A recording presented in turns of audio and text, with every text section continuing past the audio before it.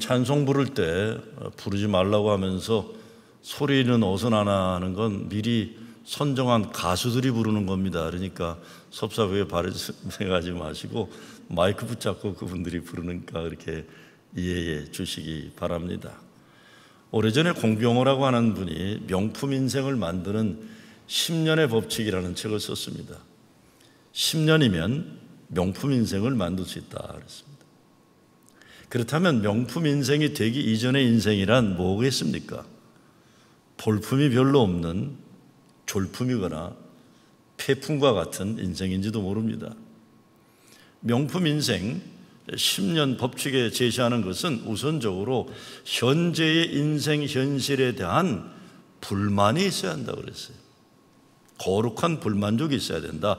이대로가 조상원이가 아니라 무엇인가 달라져야 하겠다는 결단이 가장 우선이 되는 것입니다. 신앙적으로 보면 사람의 힘과 지혜로는 도저히 이제 살 수 없겠다는 위기의 의식입니다. 집안의 가장이라면 내가 내 능력으로는 이 집, 집안 식구들 내가 제대로 먹여 살릴 수 없다. 그런 위기의식을 가지고 하나님을 찾는 겁니다. 10년 명품 인생이 되기 위한 내용을 요약해 보면 이렇게 나옵니다. 모든 것은 이렇게 살아서는 안 되겠구나라는 각성에서 시작을 하는 거예요. 더불어 잘하고 싶다는 열정과 의욕이 있어야 한다. 이 세상에 정말 안정된 것은 없다. 변화에 대비해 자신을 가다듬어야 한다. 10년 법칙이 추구하는 목표는 차별하다. 어느 누구도 내가 하는 일을 대체할 수 없는 나만의 경쟁력을 갖춰야 한다. 이렇게 뛰어나기 위해서는 노력만으로 되지 않는다. 노력해서 어느 정도 수준에 이룰 수는 있지만 최고가 되기 위해서는 타고난 재능도 필요하다. 그러므로 자신이 어느 것을 잘하는지 관찰해야 된다. 자신이 잘하는 일에 최선을 다해야 하는 것이다. 하지만 열심히 하기 전에는 자신이 무엇을 잘하는지 알 수가 없다. 그리고 무슨 일을 하든지 이왕 하는 것 최고가 되기로 결심하라. 이를 위해서는 일을 즐기는 자세가 필요하다. 어차피 하는 일이라면 즐길 수 있도록 자신을 설득하라. 왜냐하면 무슨 일을 하든 그것은 나의 미래를 위한 투자이기 때문이다. 폐품 인생에서, 졸품 인생에서 명품 인생으로 바뀌기 위한 노력 좋은 겁니다. 그래야만 합니다.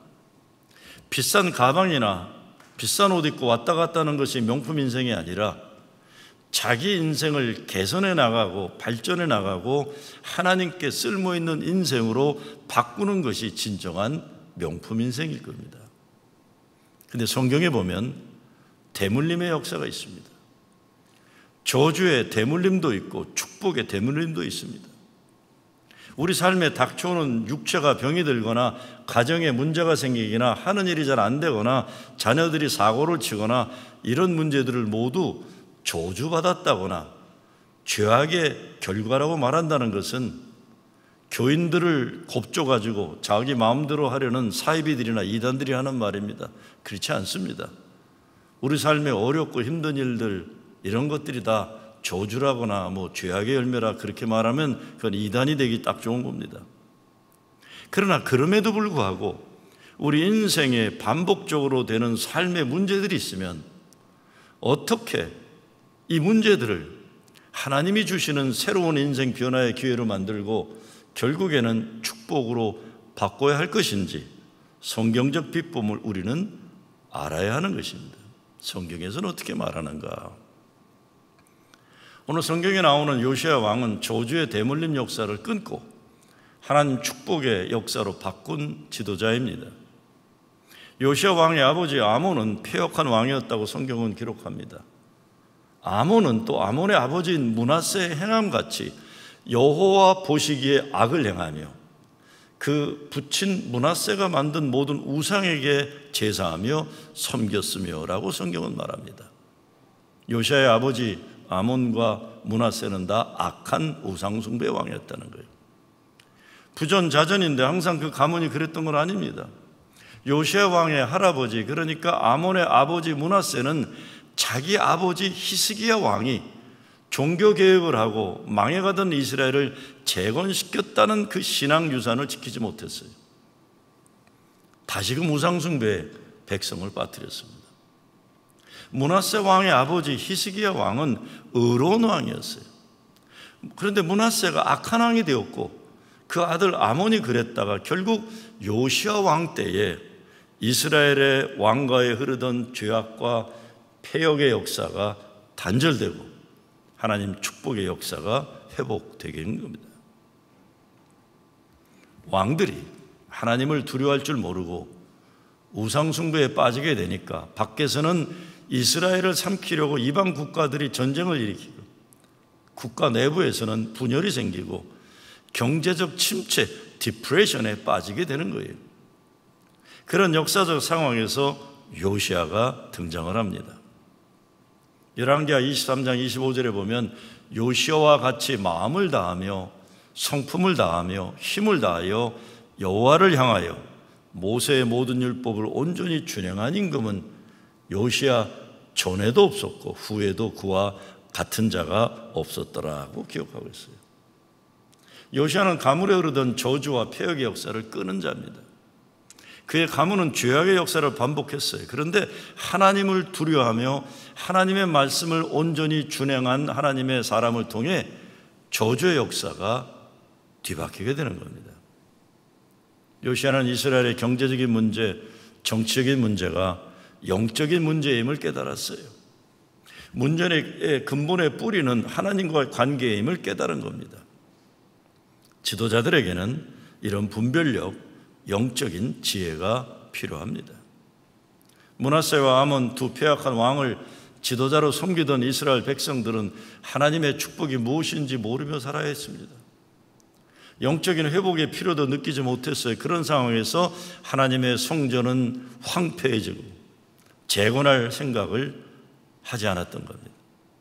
왕부터 백성까지 혹시나 어떤 강대국에 빌붙으면 살아갈 것인지 막연한 기대를 하고 사는 거예요. 하나님께로 돌아갈 생각이 아니라 아직도 세상의 힘과 권력과 우상에 의지하는 겁니다.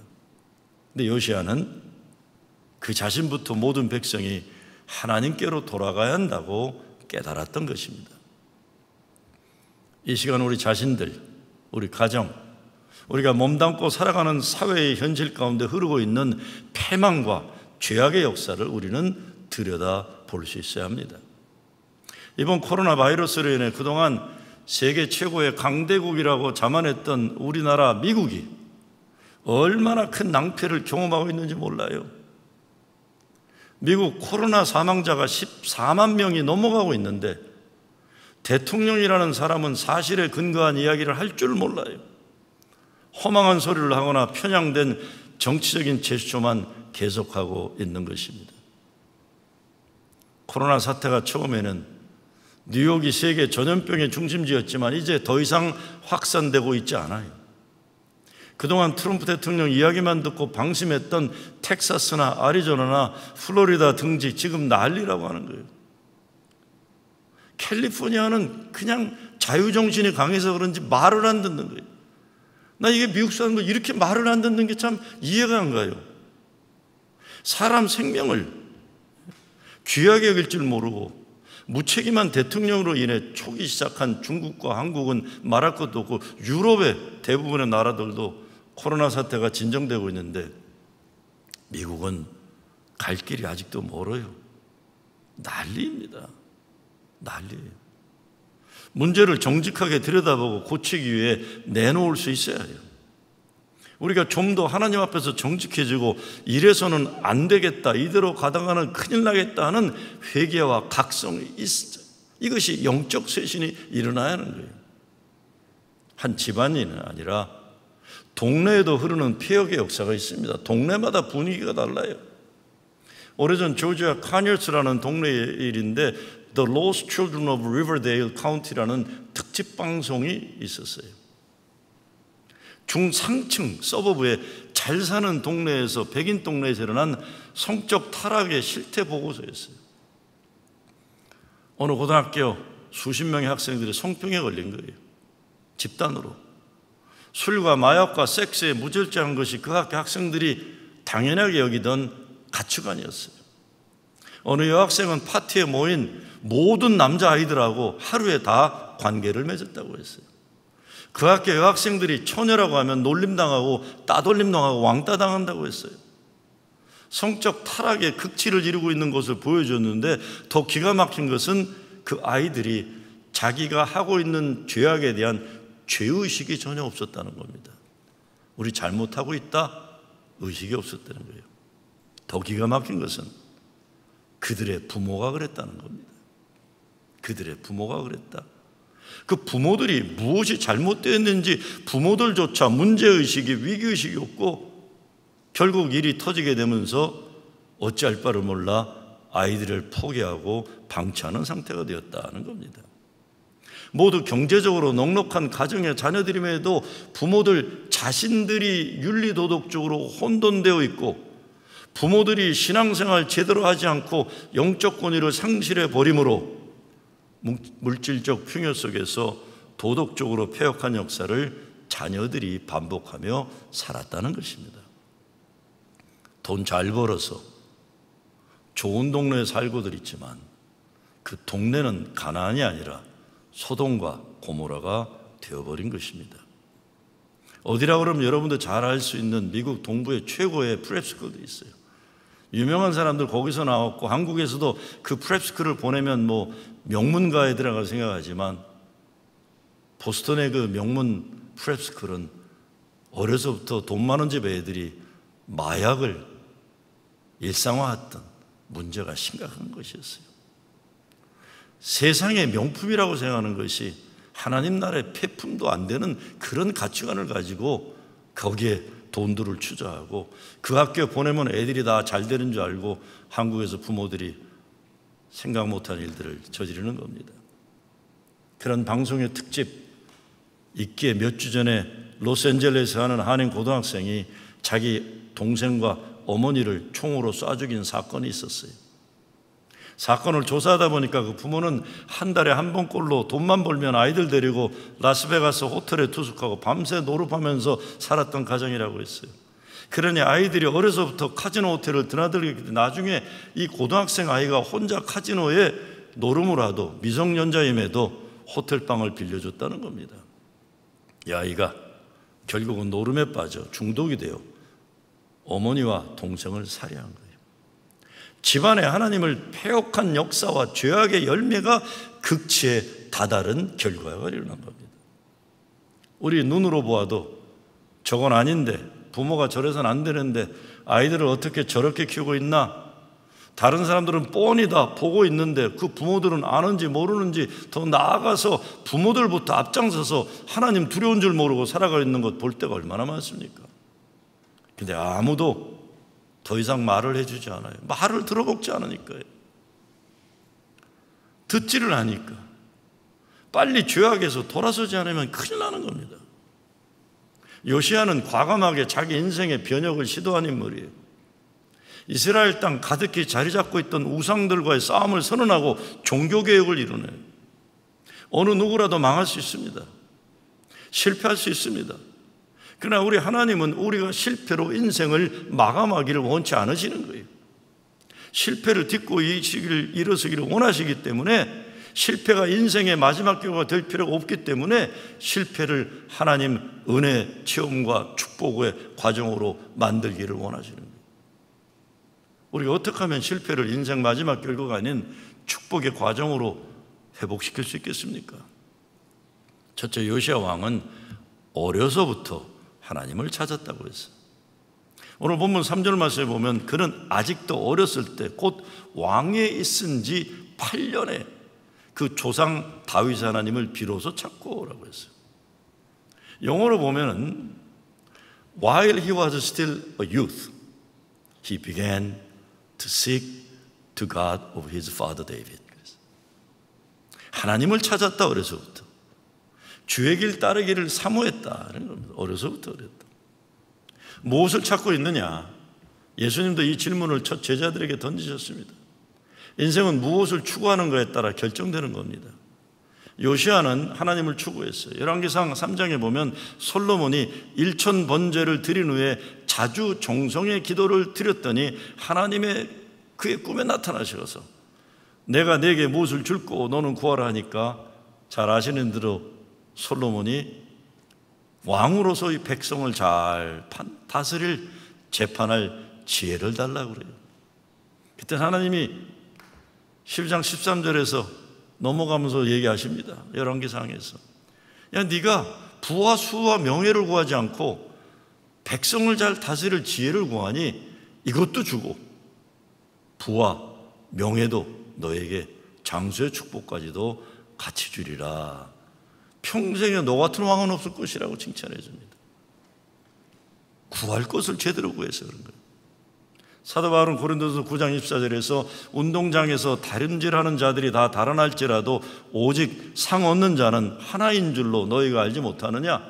너희도 얻도록 이와 같이 다름질하라 그랬습니다.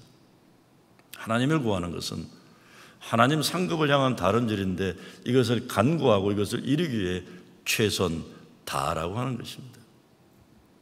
우리 교회는 물론 가정에서 우리 자녀들을 어린 시절부터 하나님 마음에 합한 자로 하나님 기쁨과 영광의 삶을 사는 예수의 제자로 키워야만 합니다.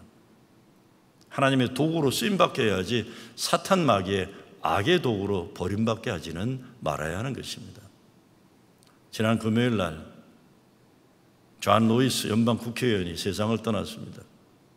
대학생 때 마틴 루터킹 목사를 만나서 평생 인권과 정의 평화를 위해 살아온 인권운동의 큰 어른입니다. 그런데 존 루이스를 비난하고 비하하는 말을 현 미국 대통령이 참 많이 했었습니다. 조롱했었어요, 그 사람은. 미국이란 나라가 하나님 복받는 나라가 되려면 의로운 하나님의 사람을 조롱하는 나라가 되면 망하는 겁니다. 존 루이스와 같은 의인을 조롱하면서 트럼프 대통령은 사악한 정치꾼이고 인종차별주의자로 못된 짓 하다 감옥에 간 범죄자 라저 스톤을 지난주에 사면하고 말았어요. 이게 공화당 내부에서도 이건 너무하다는 말이 나오는 거예요. 폐역한 정치라는 것은 이것을 말하는 겁니다. 의인을 조롱하고 악인을 높여주는 나라가 되면 하나님이 축복하는 나라가 되지 못하는 겁니다. 둘째 요시아는 무엇이 어떻게 잘못되었는지 알아서 그것을 근본부터 고쳤어요. 이 나라 지도자도 그런 사람이 되어야 되는 겁니다. 우상들을 깨뜨리고 정결케 하는 작업을 하고 곧 성전을 수리하는 거예요. 나쁜 것을 버리기만 하면 뭐 하겠습니까? 좋은 것으로 가득 채워야 돼요. 하나님께 예배드리는 그 삶을 재건한 것이 우리 성전에는 어떤 수리가 필요합니까? 예수 믿어보겠다고 마음을 결정하고 예수를 구주로 영접하는 결단, 예수 말씀 따라 살고 제자의 삶으로 헌신하겠다는 이것으로 우리는 발전시켜야 되는 거예요. 역대하 33장 9절에 보면 성전을 수리하는데 하나님 전에 연반 돈을 투자해요. 헌신이 없는 신앙생활, 하나님께 온전한 헌금 생활이 없는 신앙생활은 발전할 수 없습니다. 성전은 하나님의 축복이 담긴 그릇이에요. 이 성전에 무너지고 부서진 곳을 찾아서 고쳐야 하는 겁니다. 그릇이 더러워져 있으면 하늘 양식이 썩게 되어 있습니다. 그릇이 깨져 있으면 생명수가 다른 곳으로 흘러가는 거예요. 하나님의 전을 거룩하게 지켜내고 이를 위해 하나님께 온전히 드리는 헌금 생활에 충실하는 회복이 필요한 겁니다. 코로나 사태로 인해 미국 경기는 말할 것 없고 동포사회 경기, 우리 교인들 생계가 얼마나 어려울지 여러분 잘 아십니다.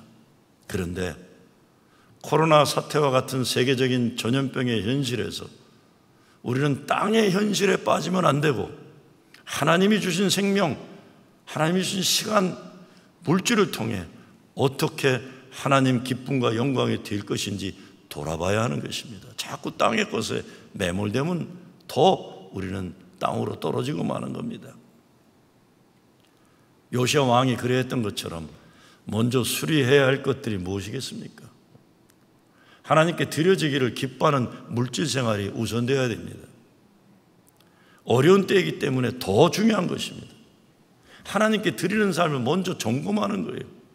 요시아가 성전 수리를 위해 예비한 헌금을 드렸다는 것은 하나님의 축복을 담은 그릇을 먼저 수리했다는 것입니다. 예수 믿는 것은 거저 믿는 것입니다. 구원은 하나님의 은혜이기 때문에 아무도 수고 노력도 필요 없어요. 예수 그리스도로 구주를 시인하고 마음으로 영접하면 되는 거예요. 하나님의 선물이에요. 그러나 구원받은 우리의 도리는 하나님께 온전히 드려야 할 헌금의 의미가 있는 것이고 헌신의 결단이 요구되는 것입니다. 감리교의 가장 기본되는 교리는 선행하는 은총입니다. 인간은 오직 은혜로만 구원받는다는 믿음입니다. 그러나 요한 웨슬레가 강조한 감리교인이 지켜야 할 철저한 규칙이 있었어요. 기도의 시간을 정해놓고 철저하게 하라. 속회 헌금을 의무적으로 정해서 구제 봉사를 넉넉하게 하고 필요한 것만큼 쓰고 하나님께 드린 헌금 생활을 늘려가도록 합니다. 은, 선행하는 은총과 성도들의 자유의 의지를 중요하게 여겼지만 신앙생활의 훈련만큼은 철저하게 지키게 하기 위해서 methodically 우리가 Methodist라는 것은 철저한 규칙주의자라는 뜻이었던 겁니다. 지금 세계적으로 어려운 때는 우리가 바닥부터 제대로 거듭날 기회입니다. 중요한 때예요. 예배당 리오프닝을 하면서 시작한 우리 교회 느헤미야 40일 기도를 하면서 무너진 것들을 다시 세워야 합니다. 가정에서도 예배 재단을 다시 세우고 헌신의 재단을 다시 세우고 헌금 생활을 제대로 하기 위해서 결단하는 거예요. 요시아는 폐역과 죄악의 역사를 뒤바뀌기 위해서 성전을 수리했다는 것입니다. 신앙의 기본을 다시 세운 겁니다. 마지막으로 요시아는 하나님의 말씀이 담긴 율법책을 발견합니다. 이 말씀으로 왕 요시아로부터 온 백성이 회개하고 말씀의 백성으로 거듭나기로 결단했던 것입니다. 34장 27절에 보면 하나님이 이런 말씀을 하십니다. 내가 이곳과 그 고민을 가리켜 말한 것을 내가 듣고 마음이 연하여 하나님 앞 곧 내 앞에서 경배하며 옷을 찢고 통곡하였으므로 나도 내 말을 들은또다. 여호와가 말하였느니라 말씀 듣고 경배하며 옷을 찢고 통곡하고 회개하였기에 하나님이 그 백성에게 내리려던 재앙을 거두심이라 이것이 28절입니다. 히브리서 4장 12절에 보면 하나님의 말씀은 살았고 운동력이 있어 제후에 날선 어떤 검보다 예리하며 혼과 영과 및 관절과 골수를 찔러 쪼개기까지 하여 또 마음과 생각과 뜻을 감고 나느니라고 합니다. 여러분, 우리를 누가 쪼갤 수 있겠습니까? 하나님 말씀만이 우리를 늘 새롭게 하는 겁니다. 우리는 이책 성경의 사람들이에요. 요한에서는 당시 옥스퍼드 대학을 나온 최고 지성인으로 감리교인들이 지식과 지성을 갖춘 신앙을 가져야 한다고 했습니다. 그러나 그의 평생의 목표는 목표는 한 책의 사람이 되는 것이에요. 하나의 책의 사람이 되는 것. 성경이죠. 오늘 저와 여러분이 이 한 책 성경이 사람이 되기를 하나님이 원하시는 줄로 믿습니다.